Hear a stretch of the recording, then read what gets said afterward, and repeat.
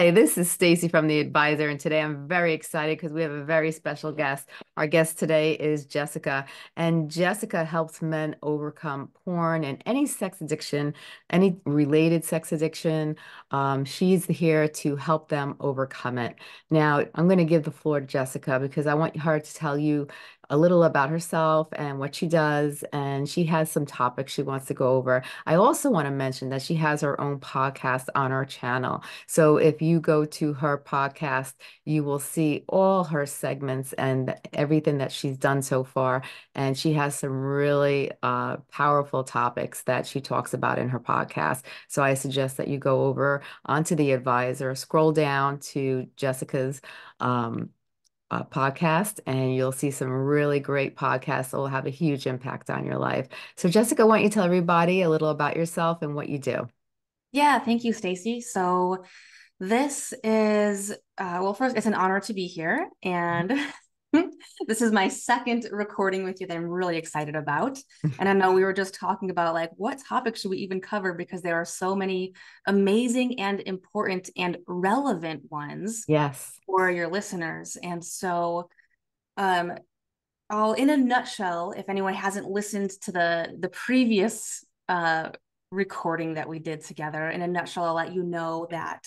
So I help men overcome pornography addiction or sex related addiction through trauma healing. And how I got into that was uh, essentially back in 2016. I had a naturally occurring seafood neurotoxin that put a 19 millimeter lesion on the left front lobe of my brain.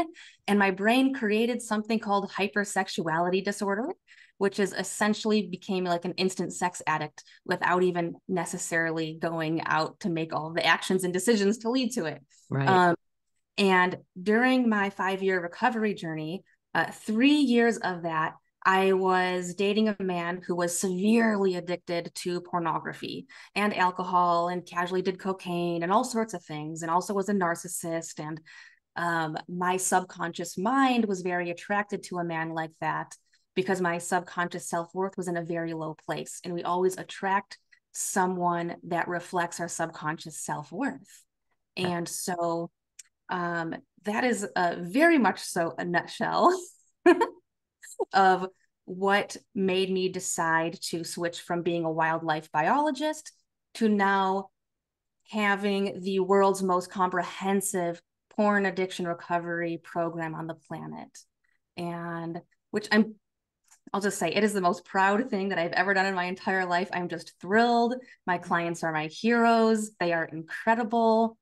And um, and it just fills me with joy to see others on their healing journey taking the brave and courageous steps that are necessary to overcome any addiction, no matter what the addiction. Right. And essentially, you know, as I mentioned last time, is uh, any addiction, no matter what the addiction, is a symptom of unresolved trauma. And that yeah. trauma is a un- unresolved emotional wounds of the past that create that sense of insecurity in the nervous system, in the subconscious mind.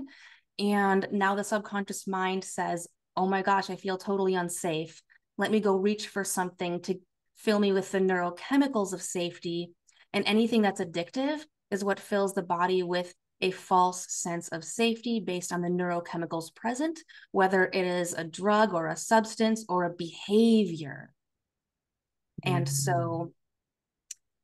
I'll kind of lead in with that.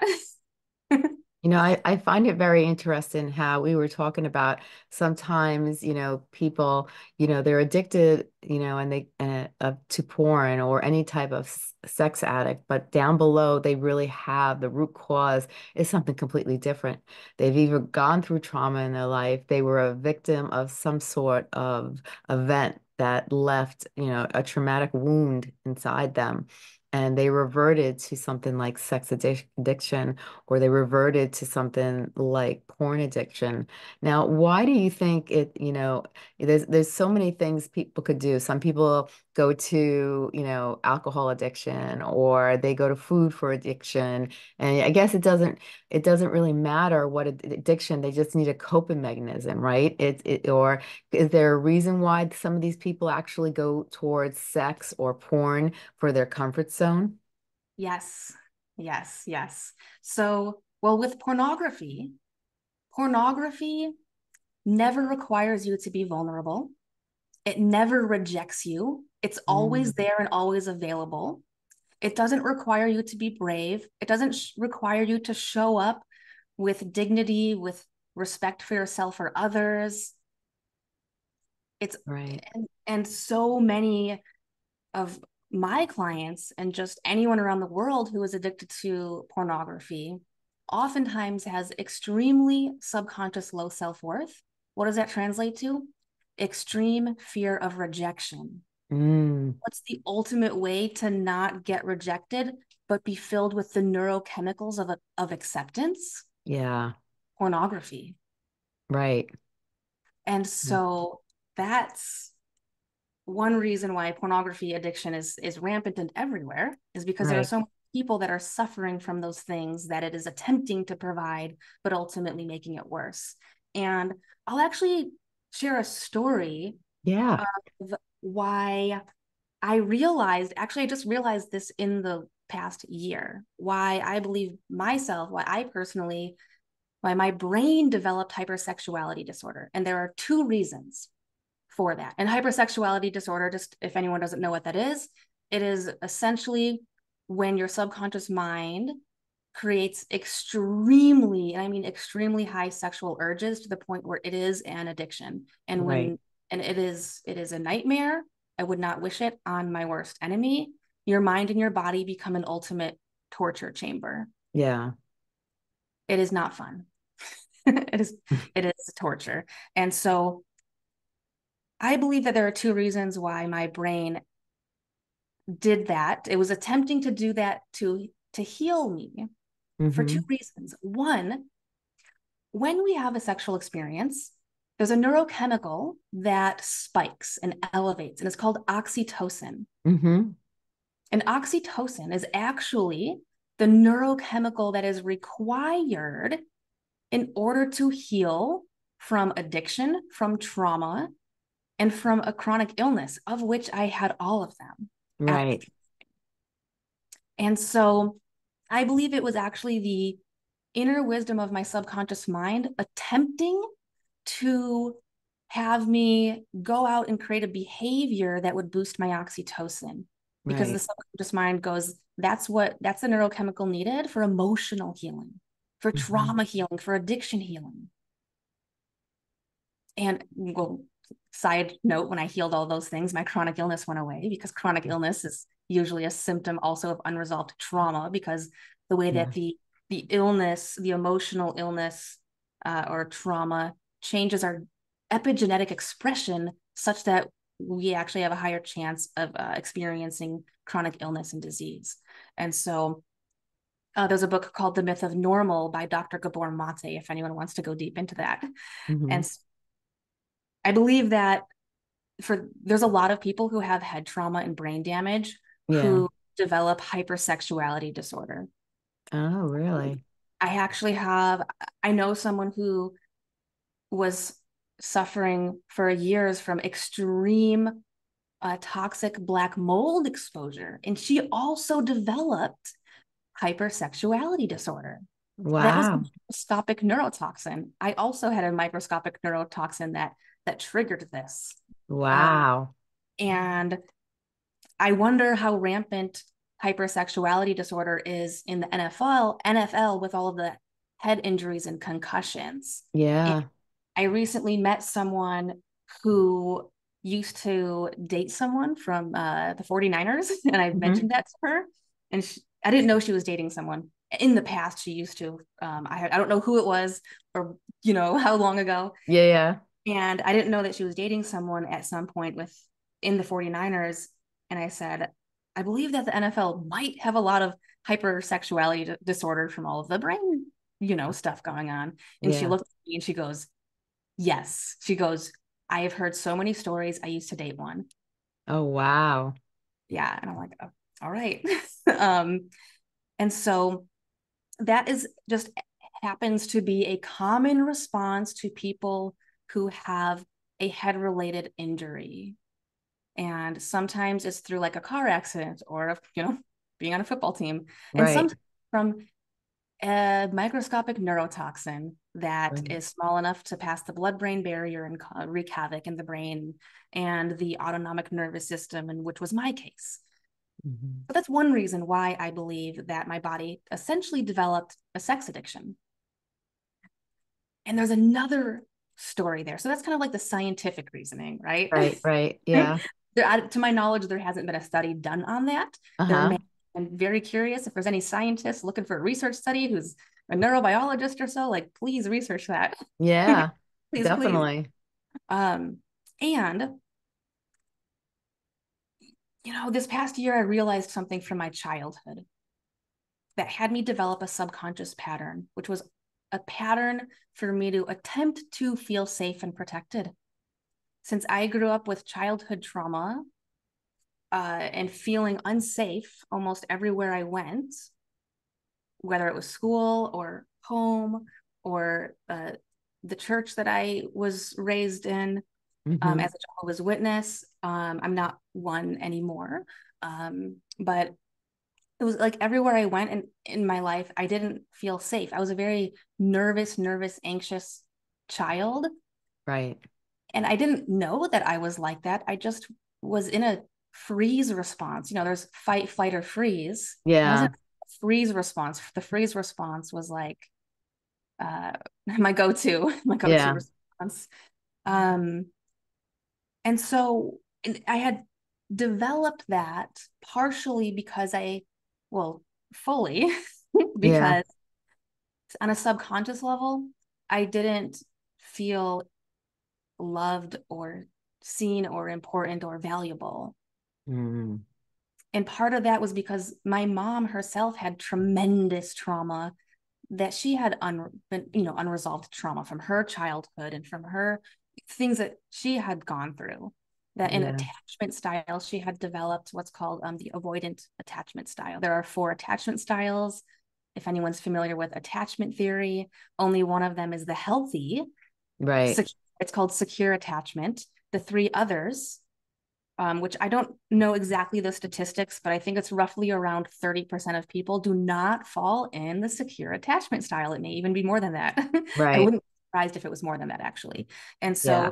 Um, there's the avoidant attachment style, and a person develops that when they have when when they were children and they want to just express them their whole self. They just want to go express themselves. And they were they were either shamed or belittled or yelled at or basically they felt unsafe to be in this world as themselves. Right.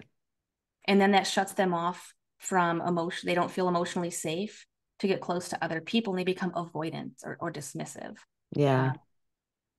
and so my mom was a dismissive avoidant who then was not emotionally available for her four kids Right.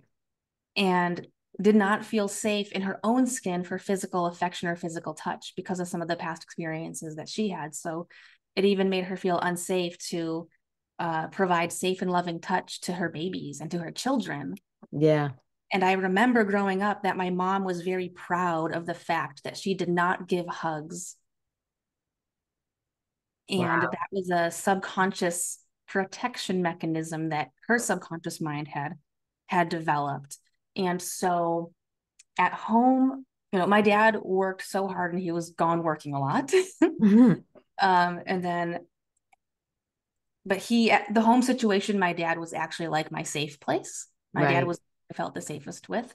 Yeah. Um, and then at school, I was the one who was bullied and ostracized because of being a Jehovah's Witness and being made fun of. And they're the different one. And when kids are cr- singing Christmas songs or handing out birthday, uh, you know, cupcakes, you have to go sit in the hallway by yourself while everyone else is having fun. And so, Um, you know how kids are, they're mean and they bully the yeah. who's different. And they the kids can sense who the insecure ones were. And that was me to the strongest degree. Right. and so then and then um so basically i just didn't really feel safe anywhere um in the jehovah's witness church i was raised in my family was the lowest on the totem pole because my dad was not a jehovah's witness Mhm. so when we went there we were at the family who was kind of like the broken one, lowest on the totem pole, because my dad was um, not, he was not only a, not a Jehovah's Witness, but he was actively and very strongly against their teachings. So our mm. family was the spiritually dangerous ones to be around because of who my dad was when we went there. Right. So um, I had this feeling of not belonging anywhere yeah. I went, essentially. Right. Like I didn't belong in my mom's arms. I didn't belong at school. I didn't belong at the church I went to. Right. And so, what is there's only one way for the subconscious mind of a child to interpret that I am unlovable. Mm. Yes, makes sense. And then the subconscious mind goes, I'm unlovable because I'm inadequate. Mm-hmm. I'm unlovable because I'm worth rejecting. Right. And so the subconscious mind then says, let me hide all of the parts of who I am that are at risk of me being rejected even more. Right. That's how I became an extreme people pleaser mm-hmm. with no boundaries. Yeah. And so, so that kind of set the tone of saying, okay, childhood trauma, which I was not aware that I had childhood trauma until after I got brain damage and PTSD, where I had obvious adult trauma and I was doing research and reading the book The Body Keeps the Score. And oh, that's wow. That's when I learned that I had childhood trauma and it was absolutely terrifying because I felt totally isolated, totally broken, totally unfixable, and yeah. that there was no one in the world who would understand what I had was going through. Right. And at that point, I didn't realize at that point how commonplace trauma is. It's right. more common than not. Yeah. And I also didn't realize that anyone and everyone can heal from their trauma. Yeah. So not knowing those things, it was terrifying, absolutely terrifying. And then going back to this is a very long uh, introduction on why I believe I developed a sex related addiction. no, it's a great story because it, it, it, covers a lot of different areas on what leads to it. So go on. Yeah. Yeah, and I and I'm hoping that anyone listening can find their story in mine. Different circumstance, different events, but your story is embedded in my story. I know it is. Right. In some way, shape, or form. And so then you know, I remember this thing that happened when I was, I want to say I was 14 years old. Mm-hmm. I was walking with my cousin Selena in McHenry, Illinois, rural Illinois. I grew up with a cornfield on my street. Mm-hmm. And um, essentially, we were, my cousin Selena was over for the day visiting. And we walked maybe, I don't know, two miles into town or so across the Fox River, the bridge, and on our way back to my house, we were maybe halfway over the bridge. We were, I want to say we were 14 years old. And this red truck drove by. And there were two men in the truck, and the windows were down, and it was summertime. And my cousin and I, we had short shorts and like halter tops on. And my cousin Selena, she had uh, been more like, I guess you could say, sexually developed as far as like she hit puberty sooner than I did. Yeah. Um, and to, in a way that would attract the attention of men, even though we, we were 14 year old girls. Right. Um, and these men, they turned their heads and whistled out of the window and made a gesture. And my cousin Selena looked at me and was like, Do you know what that means? And I remember getting a an extreme high. My body got an extreme rush. It was the rush of a high that an addict experiences. Mm-hmm. And what that was in that moment, my subconscious mind said, Oh, this is how you're valuable. Mm. This, do you see how they reacted to you? You've never been valuable before. Here's your moment. This is how you do it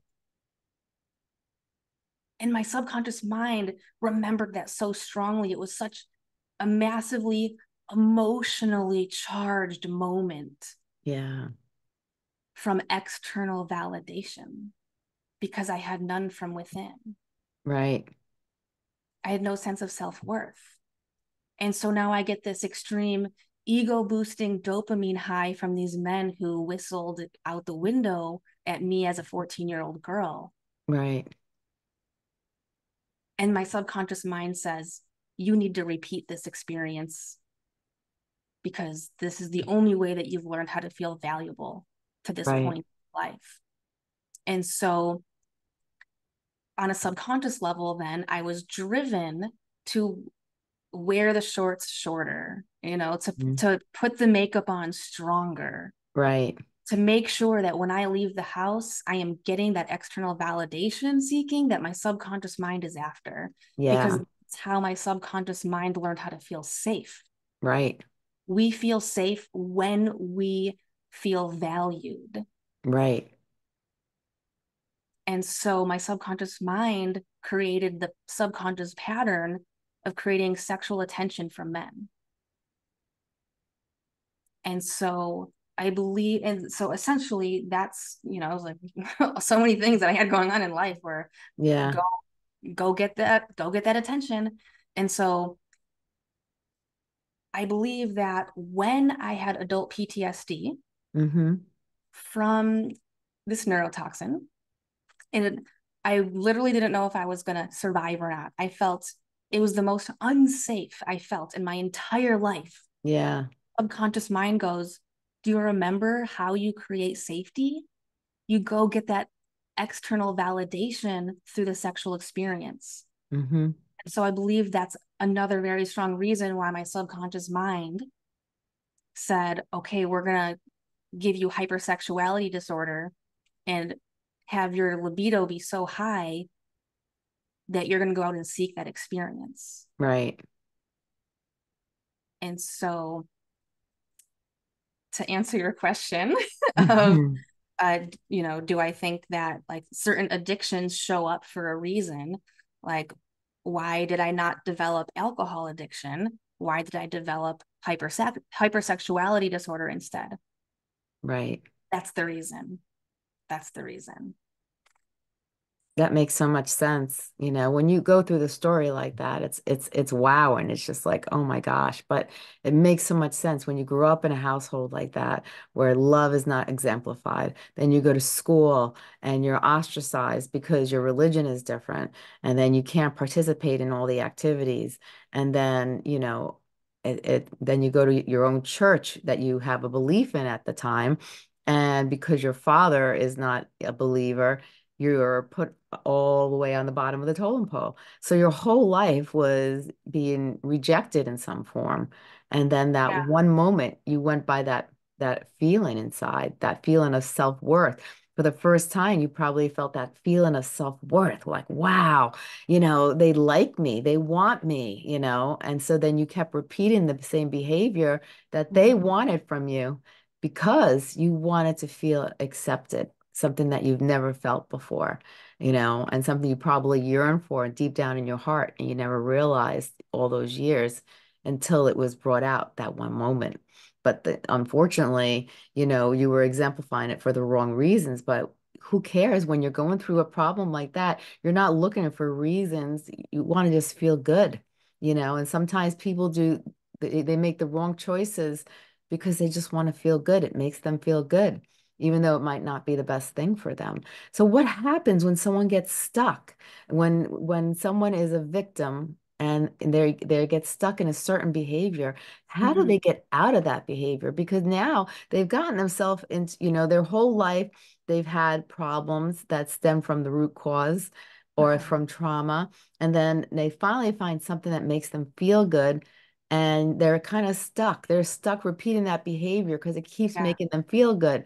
So how do you get unstuck? How, you know, because sometimes I know you were mentioning to me early on that sometimes people, you know, they will tell other people their story and they want to see their reaction and they might tell them the sexual story and mm. for another person who doesn't have hypersexuality disorder or doesn't have anything to do with porn addiction or any type of sexual addiction they're going to look at them like oh you know but that person is it's making them feel good to tell the story because in, in in their other side of their world, they have people who will put them on a pedestal for that. But then you go to an other person who's brought up differently or feels differently, and they're not going to give you the same reaction because they're a different person with different thoughts, different ways of living in a different environment. So they look for that group, that environment that's going to accept them. So they're stuck. They're a victim of their own behaviors and they're stuck in their environment. How do you get out of that? Yeah, so that's that's a. I mean, we could do a ten-hour podcast episode on that answer that uh, that one. Um, there are so many different. Let me start with uh, the topic of forgiveness, just because that topic has been showing up all around me with other people talking about it. I'm currently yeah. um, making an amazing presentation about it. There's so much. So, um, when we're living by not forgiveness, we yeah. are essentially poisoning ourselves on a neurochemical level, on an emotional level. We're disempowering ourselves, even if, especially if, there is a real life person out there in your life who legitimately wronged you and treated you in a way that stirred up valid, challenging emotional pain in your life. Right. And so there's a difference between intellectual forgiveness and emotional forgiveness. Yeah emotional forgiveness is when you feel it down to the depths of your you know soul. And i'll i'll give an example of it. So um you know i used to share the victim story of the way that my mom used to treat me and how when i was oh, 17 or 18 she disowned me and she declared to my face consider yourself disowned from this whole family and when i left the jehovah's witness organization. yeah. Um, and I used to tell people the horrors of my mom's behavior. And every time I told that story to people, I learned who to tell it to so that I would get the, once again, external validation. Yeah. So it was another form. I was using my mom and the way that she treated me as a way to go uh, receive and achieve external validation. So mm-hmm. just be stuck in my victim story with that, which right. is never empowering. It just stirs up that the righteous indignation, which is that external validation seeking uh, behaviors and the external validation seeking emotions yeah are highly addictive in and of themselves this is why people get addicted to their victim story mm-hmm. it's one of the reasons not the only reason and so um essentially i mean one of the things that i had to do was forgive the people who had caused tremendous pain in my life. And when we do that to the fullest degree, we actually begin to have compassion for that individual and we begin to see their own suffering. Right. So, um, I mean, an example of that, like with my mom and the way that she would, you know, unintentionally reject her children. Yeah while you know trying to protect them but not knowing how. It's like her coming from a place of love and wanting to protect her kids but not knowing how because of her traumas. Yeah. Uh, you know she had the absolute bravery to tell me in recent years that that she believes that my trauma be- began in the womb when she was pregnant with me. And this is a good thing mm-hmm. for people to know because the emotions that your mother is experiencing when you are in the womb will directly affect you in such strong ways. Oh, 100%. It even can affect um, the the size ratio of the amygdala of your brain, which is the fear response. Really? Mothers who have unresolved trauma when they're pregnant, um, the amygdala of the brain can actually be larger and have a stronger portion of the brain devoted to the fear response. They even when when conception occurs and the egg drops, the I, I think it's 240 characteristics are already developed in the baby already, the yeah. embryo, you know. Yeah. And so just think of that 240 characteristics just when the egg is flowing down the fallopian tube. And yeah so it, it, it, you know when you think about that and you think about what you just said it's like mm-hmm. it's amazing your your personality the way your brain is developing everything is is starting to begin formulating at such a such a quick and short period of time that that you know that baby is is is already formulated and it, and it's it's not even a, a full baby yet. It's not it, it's just an embryo and and you know it, it's it's beginning to develop but so much has occurred in that short period of time. It's pretty amazing. It is and this is where and i i want to honor my mom's bravery for telling me this because it was very vulnerable for her. She said that she believes that my trauma began in the wound and it's uh, the trauma uh, the rejection wound the rejection wound because she said that when she was pregnant with me she did not want to be pregnant with me. She oh wow. Yeah that she couldn't wait till i was out. Really? She couldn't wait till i was out and she said i think that's why you were born prematurely because you could sense that i didn't want you there. Oh wow. But even for her to say that to you, again, the rejection, you, you, it's like you've nonstop throughout your entire life have been rejected over and over and over and over again from even the time that she disowned you to the time that she says that to you. It's like, you know. Yeah. And, you know, when she said that to me, she was saying it from a place of um, wanting to understand my pain and having. Mm-hmm she was coming from a place of compassion. Mm-hmm. She's been doing actually a really like awesome, amazing job in the last couple years of yeah reaching out to me so that we can heal our traumas together. That's and that nice. was one of them. That that was one of those moments. Um and so once I I eventually began to truly in my heart forgive my mom, understanding that everything that she did that was painful to me came from a place of her own tremendous suffering. Mm-hmm.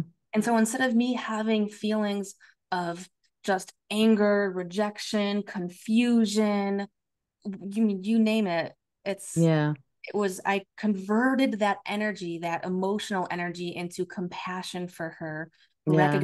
her suffering, and that helped to heal me because when we as human beings if we live by the the emotions of compassion yeah that is so much healthier and uplifting and empowering and motivating in our bodies It is, our, rather than living by anger resentment you know jealousy fear rejection abandonment. It's like hey let's convert that into um, gratitude for having the experience because of the strength yeah. and resiliency you had to adopt and and grow into as a result of it while simultaneously having compassion for the people who have hurt you in your life because right.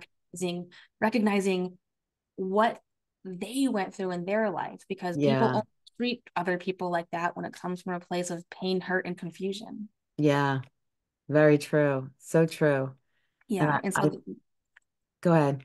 That um that forgiveness piece it's forgiving others and then also forgiving yourself because when someone is on this journey to overcome an addiction usually the, the person that they hate the most is themselves mm-hmm. and there's usually an enormous amount of shame and it is impossible to heal and recover from addiction or trauma when living by the emotions of shame anger resent, resentment jealousy like any emotion that is a stress response mm-hmm. it is mm-hmm. impossible to heal and recover when living by that emotion wow and how do you how do you go about getting rid of those emotions, mm-hmm. those negative emotions? Because that those those emotions are powerful and they can destroy you. They are. They are. And yeah, you know, I've shifted away from calling them negative emotions mm-hmm. because they are mandatory emotions and we need them and they serve a purpose. And right. when we listen to them and pay mm-hmm. attention to them yeah. and allow them to surface and explore them, then there's always a message that there's always a message there for us. Right. For example, if I'm lonely, uh, you know, a lot of my clients they would say like, oh, they they suffer from loneliness. How do they alleviate it in the moment? Pornography, mm-hmm. YouTube binging, social media, emotional eating, you know, online shopping, drinking alcohol, like whatever yeah. you name it. And it's oh, how do I alleviate loneliness? I can either escape from it from an unhealthy escapism choice that won't serve me, but it'll serve as uh, my subconscious mind can forget about it in the moment and not feel the pain of it in the moment, escape right. from the pain. Or, or I can go take action in my life to make connection because the opposite mm-hmm. of loneliness is connection. Right. And also addiction. The mm-hmm. opposite of addiction is connection. Right. And so there's connection on three different levels. I think most people will definitely agree on the two. And I would say everyone will agree on the, the two, but the third one, um, it depends on what your belief system is. Right. So I'll touch on what those three connection pieces are.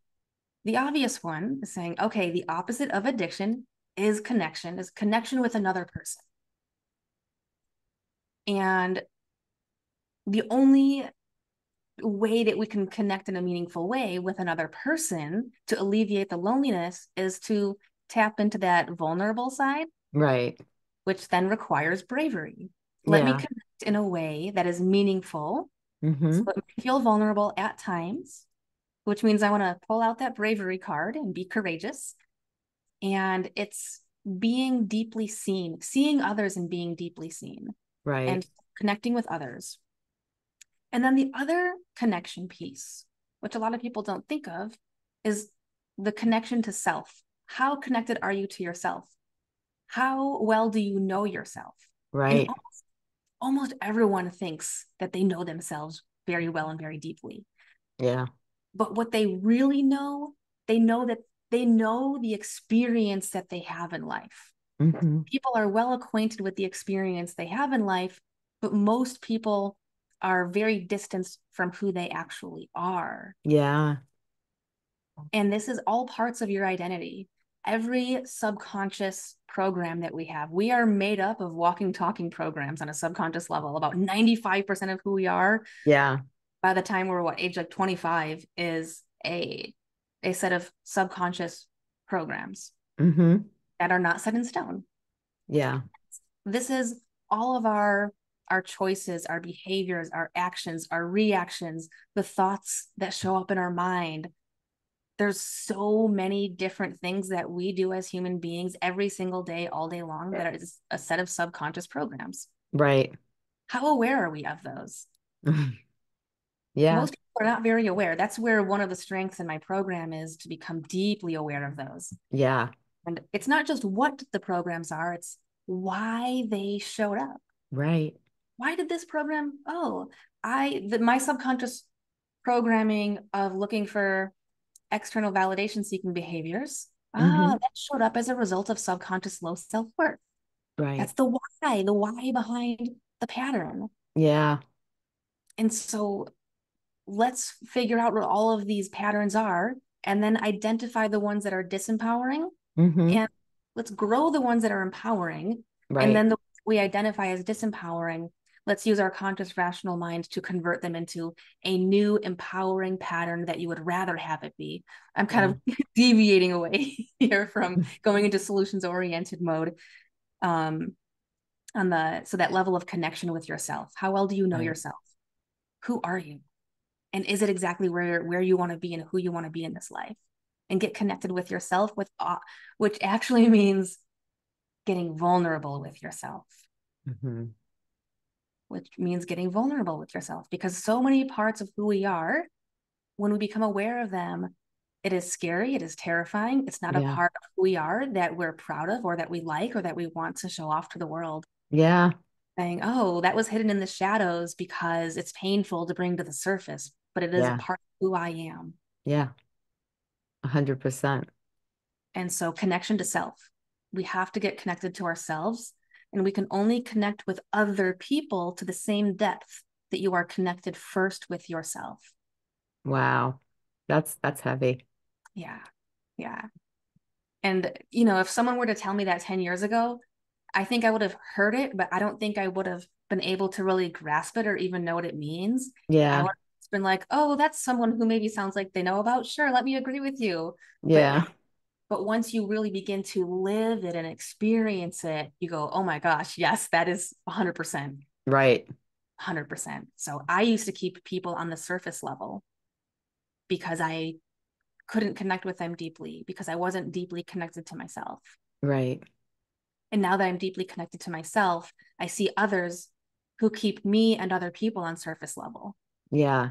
Because they, they just don't know how to go deep and it is terrifying. It is terrifying. They avoid it they avoid it they avoid it they avoid it because they're avoiding it within themselves. Yeah. And then that third piece of connection and this is the one where depending on your world belief and world you know your beliefs is um spiritual connection. Mm-hmm. no matter what it is for you in any way shape or form that spiritual connection. Yes. And so those are the three c's of connection connection is the opposite of addiction. Mm-hmm. Now, how how do we get from st- how do we learn to start connecting? So there's three different types. So I assume that is there three different, each one has its own way of resolving the connection with self? You know, they begin to kind of meld together. Okay. They do, um, but there are also some separations and distinctions. And so um I did like getting connected with yourself. There's it's paying attention and being aware of your patterns. Instead of operating on autopilot, it's being so consciously aware of every single thought, every single choice, every single action and reaction. Mm. Just think of how many times we go throughout our day where we are operating on complete autopilot and autopilot subconscious programming.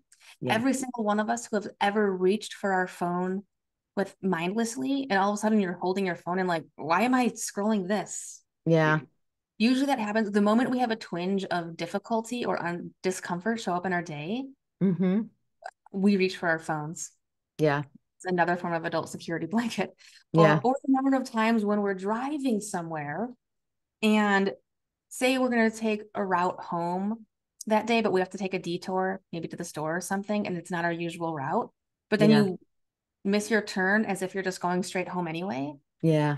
That's a subconscious autopilot. And so, but that's happening hundreds and thousands of times throughout every day that we're not even aware of. Right. So it's becoming aware of them so then you can identify the ones that are hurting you versus helping you. So right. that's kind of connection piece. Um, and then there's also subconscious strategies to help with reconnecting what your subconscious mind disconnected you from a long time ago because it felt mm-hmm. unsafe. So things like um, meditation and going into some deep somatic trauma release breath work. Yeah. Which I, I do all of that with my clients as well as um, a breath coach. Mm-hmm. And ooh, there is some strong stuff that comes up. Those are the big, big, big, big, ugly tears, which are really the most beautiful kind. Yeah. mm-hmm. And so um, there's that saying, you got to feel it to heal it. Mm-hmm. And the more you feel it, the more you heal it. And then the yeah. more reconnected with yourself you are. And so it's feeling all of those challenging emotions to the strongest degree in most cases. Right. Whether it's uh, you know sadness or grief or anger for the person who you know wronged you. Yeah. You know and, and allowing ourselves to feel something like there is healthy anger yeah what allows us to set up boundaries. Right. Healthy anger allows for healthy boundaries. Right. It doesn't mean that we have to be angry and treat a person poorly right. but it, it allows us to take the appropriate action to protect ourselves in the right ways. Yes it's but true. then if we if we overprotect ourselves, we might have a 10 foot wall and saying, I'm not letting any love in ever. because when I was open, when my heart was open to that in the past, I was hurt so, so badly. And that's how a person becomes the dismissive avoidant. Right. And so it's reconnecting that, that those these reconnecting is there's those subconscious strategies um, and then there's a thing called pattern interrupts, which I teach my, my clients. It's interrupting the patterns of the past so that in the moment when they show up in your life, whether it's a choice, a behavior, an emotional reaction, um, a thought pattern. Yes. That's not serving you, but it's enslaving you. Yeah. You first become aware of it. Mm-hmm. And then when it happens to show up in your life, you interrupt the pattern of the past with a new pre decided choice that you chose before that moment of when it came up. But first, right. you have to be aware of it, and then you decide who you want to be instead. Yeah. And then you interrupt that pattern with the new choice. So it's another another way to to reconnect. And it's hard sometimes because when you are so you when you get awoken by something from the past and it comes into your present, you know, a lot of times people will go back to their old behavior, you know, it'll just they'll mm-hmm. just go back to what they know and you have to really stop yourself and and that takes a lot of, of a lot of, of power you know like to be able to and strength you know to be able to say no i'm not going to do that. I'm going to do this instead because x y and z. You know it's it's it, it sounds easy but it's not. Right right and then you know there's someone who may believe that they've healed and recovered but it might be a time period in their life when they're when they don't have major life stresses going on. And since stress is the number one trigger for relapse or mm-hmm. for um, to be triggered into any disempowering or self-sabotaging behavior or thought yeah. or action um, you know someone will say like hey you know i've been i've been free from alcohol or free from you know whatever it may be for for six months. Yeah. boom there's a death in the family. Boom they get laid off from their job boom so you know something in the news and politics stirs something up in them and and then they relapse. Yeah. And so this the best litmus test is when even the strongest life stressors show up in your life yeah. and you're able to not fall back into those old destructive patterns that's when you know you've overcome it. Right.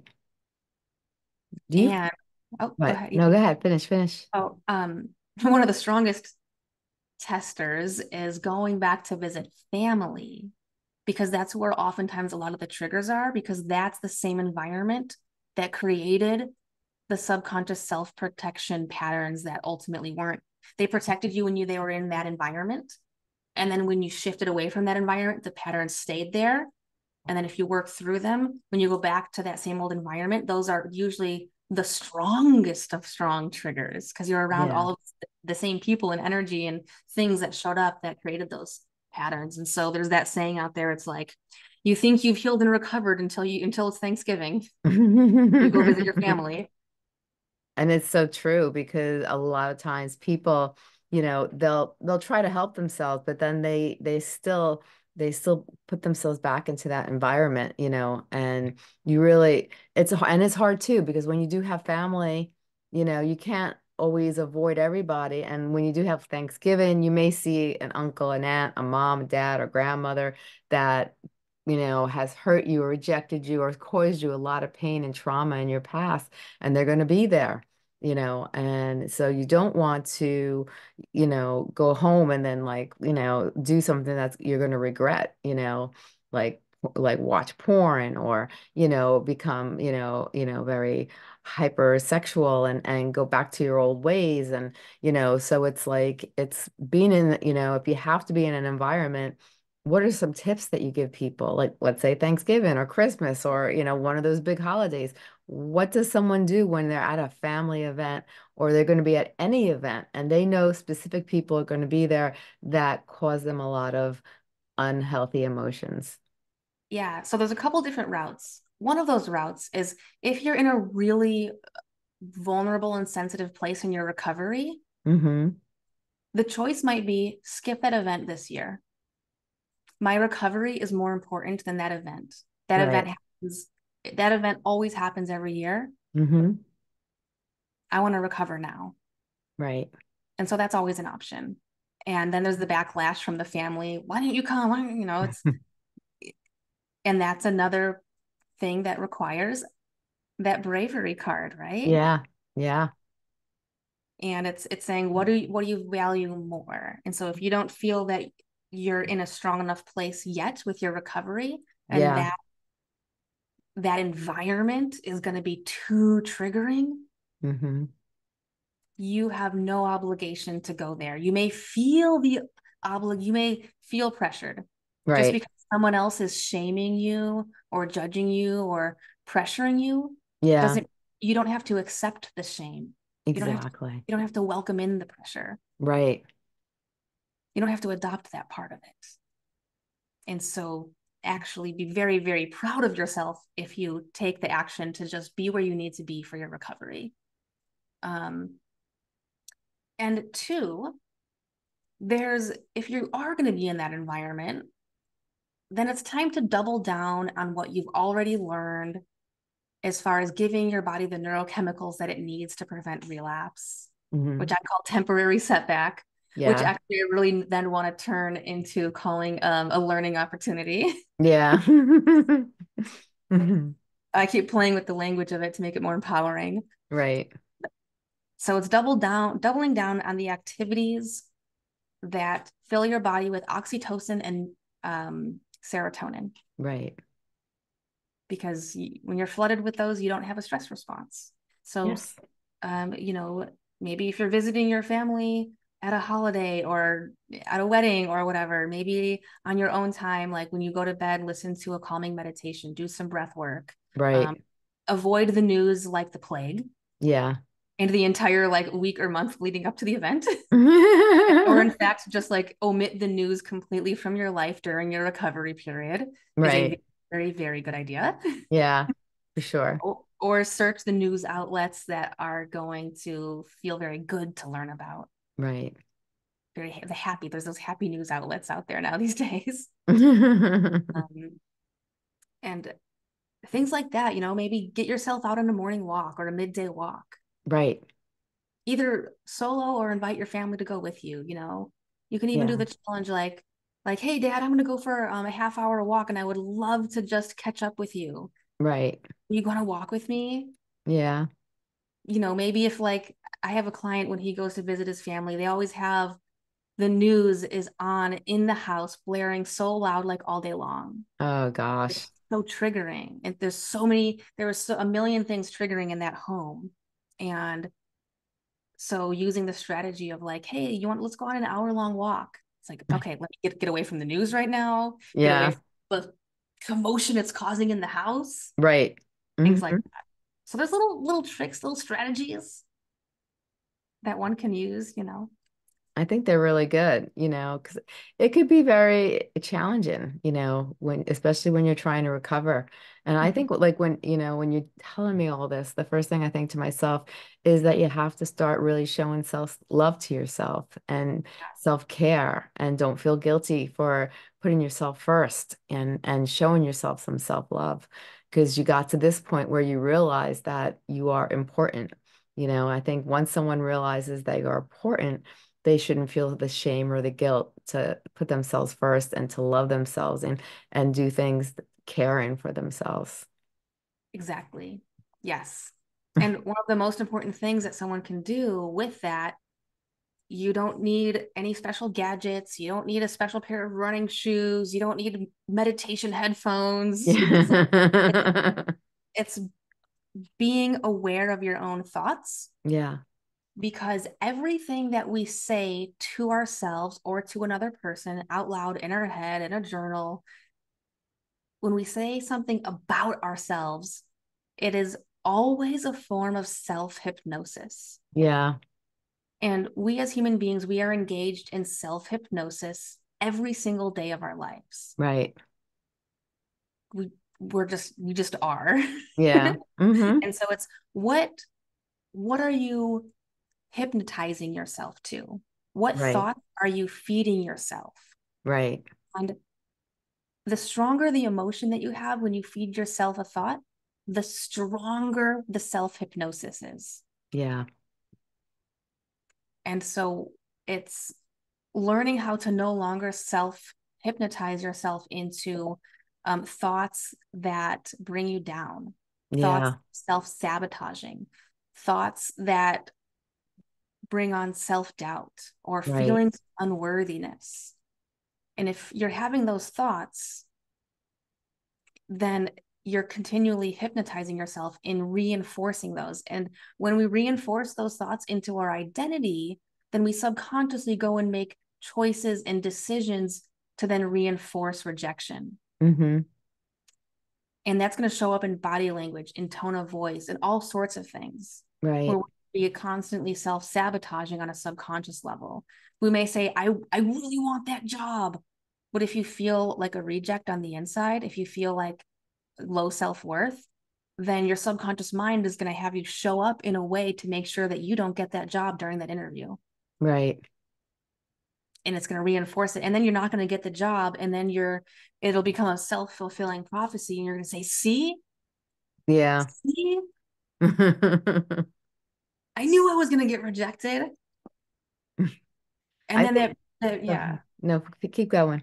And then that brings on more body language of and and subconscious choices to then go continue to get rejected or have self-doubt or have social anxiety or whatever it may be. So it's uh, we need to shift the way that we are inducing ourselves and seducing ourselves with self hypnosis yeah. through the story we tell ourselves and others through the beliefs about ourselves right feeding ourselves so it's making that shift so um, conceptually it might sound easy to understand but then applying it that's where we really go deep in my program on how what's the how to make it happen right that's really important like, what do you do? Like, you know, there are times where I think many people have gone through it is when you're going through stressful times or you're going through trauma.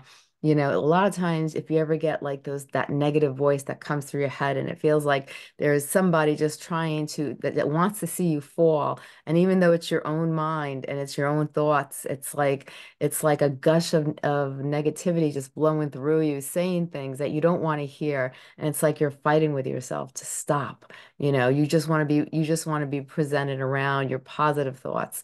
And those negative thoughts sometimes try to make its way in for whatever reason how do you stop those thoughts from coming? There's um, so there's two things that are important there. One is in the moment when you're experiencing it, you can always change your state, and by state I mean emotional state. Yeah. And our thoughts are going to match the state of our emotional state. Mm. Our thoughts will match the emotions. Okay. So when there's certain things that we can do to change our state, and we can do that through the music we play through the our body language our tone of voice our posturing the way that we yeah. physically move dance around run around sing be silly be goofy and it's going to feel like resistance at first because right. it's not what you're going to go do with your body and the music you're playing and the the you know facial expressions and tone of voice it's not yeah. going to match the emotion you're currently feeling right but the subconscious mind has no choice but to obey and it will begin to ma- match mm-hmm. the way that you are expressing yourself physically. Right. Begin now your internal emotional reactions will match your physical expression. This is why tony robbins has his crowd get up and dance and cheer and do all the things because everyone is changing their state. Yes and then when we change our emotional state, our thoughts match our emotions. So now, ah, when I've put some really fun music on, I danced around, I made a silly face. Yep. Now, ooh, my emotions feel better. Oh, all of a sudden, it mm-hmm. is a million times easier to have a thought that empowers me. Right. Wow. that's a great, that's great. You know, that's an in the moment in or you can take a cold shower go on a jog do sprints like those are going to change your state those will all change your state um, and then when it's it's important to carve out time when you're not even experiencing that to say i'm going to do, do a meditation mm-hmm. with my clients i have them do um, hypnotic meditations where they're actually doing self hypnosis in the mm. meditative state so right. it's it's not like most other types of meditations. It's um, yes. a, a self hypnotic meditation so that like they can that. actually make the subconscious shifts where they want to be. So yeah. doing stuff like that, doing breath work, doing activities that activate the vagus nerve and activate the parasympathetic nervous system and elevate mm-hmm. that oxytocin, serotonin. The more that we have those types of activities in our life, then the less frequent we have those self sabotaging thoughts and the emotions that come with it. Yeah. And when they do show up, it'll be less frequent and with less intensity, and it won't last as long. So instead of it feeling like a giant grizzly bear that's attacking you, it'll just feel like a little mosquito that you can flick away. Yeah. You know, I um I, I had gotten a product one time and it was uh it was a, a vagus uh nerve stimulator and it made you feel so calm. You just put it on the vagus nerve and it was kind of like a vibration. But after the after it, I think it stood on for about three minutes and then it went off. But you felt so relaxed afterwards. It was like like a massage on the on the vagus uh, stir, uh, nerve. But it was it made you feel calm and it did put you in a different state of mind after it was done. So it is true, you know, it, it, it is very true. Doing different things and changing your state of emotion can change everything. It'll change your thoughts, it'll change your actions, it'll change your urges, everything. Very much so, absolutely. And that's that's pretty awesome that you got to use one of those devices and um, you know, and that can really help and serve as an aid when things are really very difficult. And and then also it's another good thing to say, oh, I have made a lot of difficult choices that required bravery where I, I looked inward. I did the the work. I carved out the time. I, yeah. I had the discipline and the bravery to do these things. And now i've graduated away from even needing that. Maybe right. there was a time in my life heck i could have used that all day every day. And then and it's like wow um, i used to do that with an amino acid called l-theanine mm-hmm. which is an anxiolytic. It reduces the anxiety. Right. it's like liquid droppers, and it would mm-hmm. work for minutes. Yeah. And I used to have one by my bedside, in my car, in my purse. Like every, it was just always on me. Yeah. And use it so many times throughout the day. And it would take me like a week or two or whatever to, I don't even remember, to go through a bottle. Yeah. And I still have it, but it takes me six months, nine months to go through a bottle instead of a week. Right.